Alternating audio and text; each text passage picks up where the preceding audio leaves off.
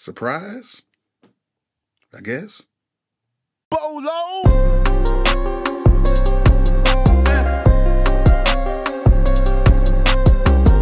All right, so before I get started, let me go ahead and just say this. There is two things that this thing does not have. It does not have an internal battery and it does not have speakers. But you can definitely travel with it though. You can do that. Now, a lot of y'all have been in my inbox and been in my DMs and was asking me what this thing was, how it works, is it super portable, what is it? And I'm gonna give you guys my honest opinion okay? My one opinion out of 8 billion people in this world, I'm to say that this thing is basically an MPC 1 Plus with keys on it. But it does have a few extras as well. Number one, this unit comes with 32 gigs of internal storage.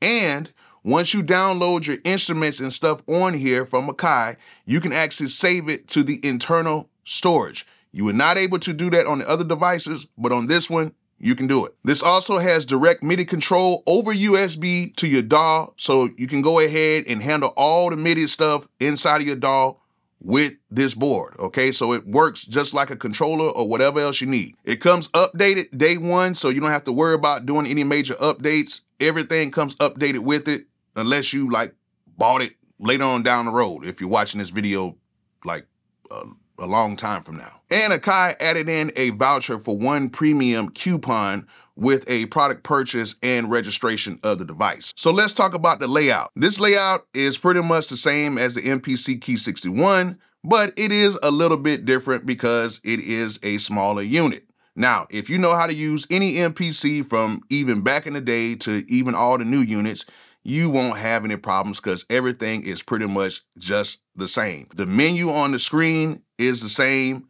Everything is the same. Now, the pads are smaller. They are the same size pads that are on the MPC Key 61. And the menu on the right side of the board is a little bit different, but they have a lot of those buttons that you know you can double press and get into different menus and move around on the board is not hard at all. And to be honest, I'm actually kind of cool how they got everything set up on the board. They had to compact things down a little bit and they had to move certain buttons to, you know, make it make sense. So I'm not mad with how they actually placed a lot of stuff on this actual unit. Now the pads are the same size pads on the MPC Key 61 and on the MPC 1 Plus. Same pads, same feel. The key bed feels good, feels just like the MPC Key 61. No difference, full size keys, nothing different. But hey, how y'all like that red finish?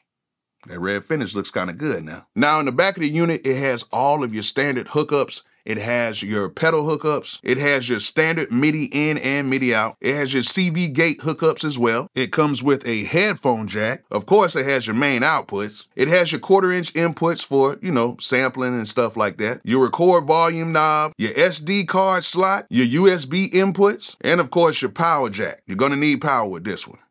No battery. No battery. And yeah, that's pretty much it. That's the whole unit in a nutshell. Now, how much does this thing cost?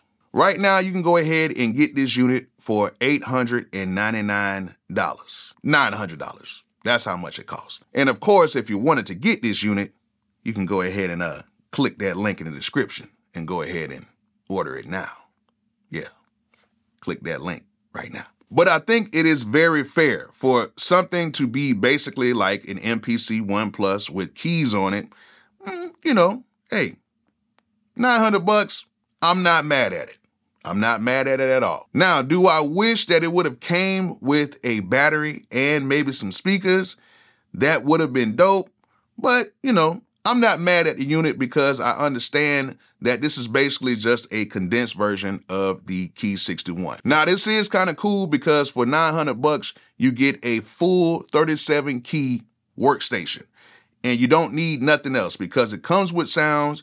You can add your samples into it. And it's basically, like I said, an MPC 1 with keys. So you don't have to add any other keyboards or MIDI controllers or nothing like that to it. You can just go to work on it. Just like that. So, in my opinion, who is this for? Number one, if you do not have a MPC unit and you don't want to get one of the bigger units and you don't want to just get the MPC 1 Plus and have to buy like different MIDI controllers, this is for you. Reason being is you can just get it all in one unit and you don't have to worry about nothing else. Also, this is for people who like to travel and who don't want to pick up the full MPC Key 61. All right, so you know your boys got to be honest.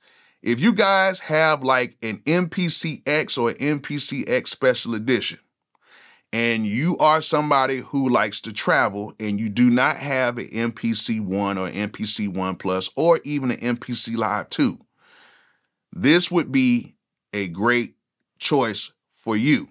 That's if you don't have the MPC Live 2, the MPC 1, or the MPC 1 Plus.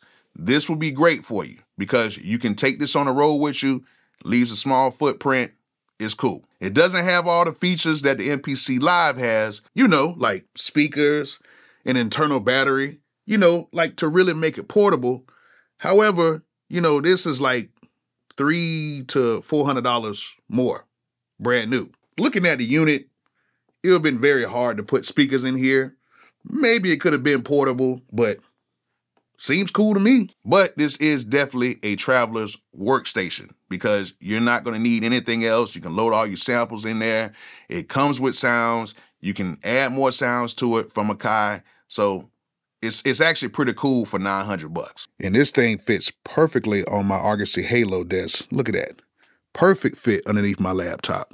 Man, that thing looks good. I like that. Now, I know you guys are going to ask about the sound. How does it sound? It sounds just like all the other units. It sounds good. All right, so there it is. The MPC Key 37.